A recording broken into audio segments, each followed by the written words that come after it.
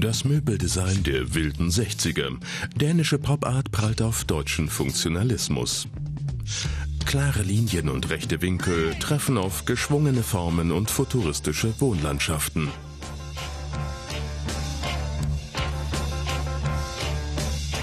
Pragmatisches Industriedesign aus Deutschland und dänische Wohnutopien prägen das Jahrzehnt. Deutschlands Nummer 1 im Industriedesign. Mit seinen Produktideen hat er Millionen von Haushalten mitgestaltet. Dieter Rams. 1961 wird er Chefdesigner bei dem deutschen Elektrogerätehersteller Braun und führt die Marke mit seinem Designethos zum Welterfolg. Weniger, aber besser.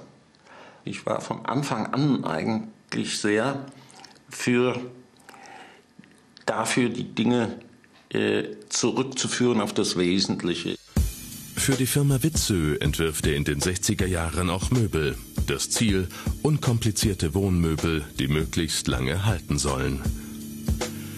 Exemplarisch dafür steht das Regalsystem 606, der erfolgreichste Möbelentwurf von Dieter Rams. In der einfachsten Ausführung kostet es rund 1500 Euro. Längst ist es preisgekrönt und steht heute sogar im Museum of Modern Art in New York. Warum das Regalsystem 606 seit 51 Jahren ein Verkaufsschlager ist, weiß der Designtheoretiker und Professor für Produktdesign Volker Albus. Es ist sehr neutral, es ist höchst dezent. Also es hat im Grunde genommen keine formale Persönlichkeit. Es ist jetzt nicht gelb, rot oder dick oder irgendwie holzgemasert, sondern es sind hauchdünne Blechpaneele, die eingehängt werden und mehr oder weniger, wenn sie bestückt werden, mehr oder weniger verschwinden. Auch das Sitzprogramm 620 von Dieter Rams, ein Designklassiker. Heute steht es im Berliner Kanzleramt, im Museum und natürlich auch bei Dieter Rams zu Hause.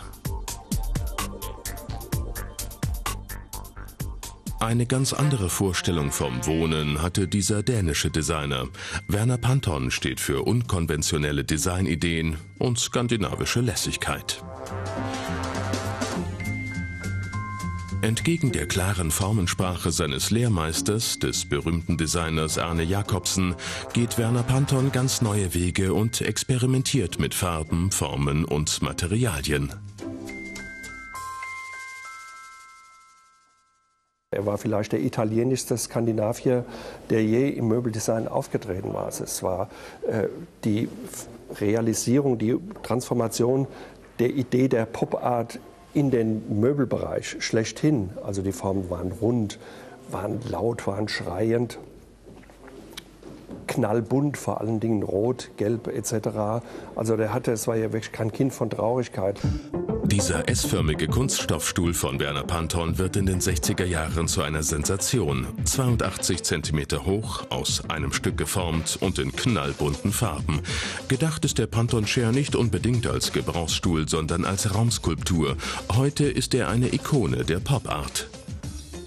Panton ging es darum, etwas zu schaffen, ein Teil, ein Versatzstück für eine häusliche Inszenierung. Ihm ging es nicht darum, einen komfortablen Stuhl zu machen. Der Däne hat auch ganze Wohnwelten entworfen. Ein Werbefilm von 1970. Die Bananenschalen sind gut. Und bequem? Ja, bequem sind sie auch. Sie sind ja textilbezogen. Und was kommt jetzt? Ein Leseraum mit Wohntürmen.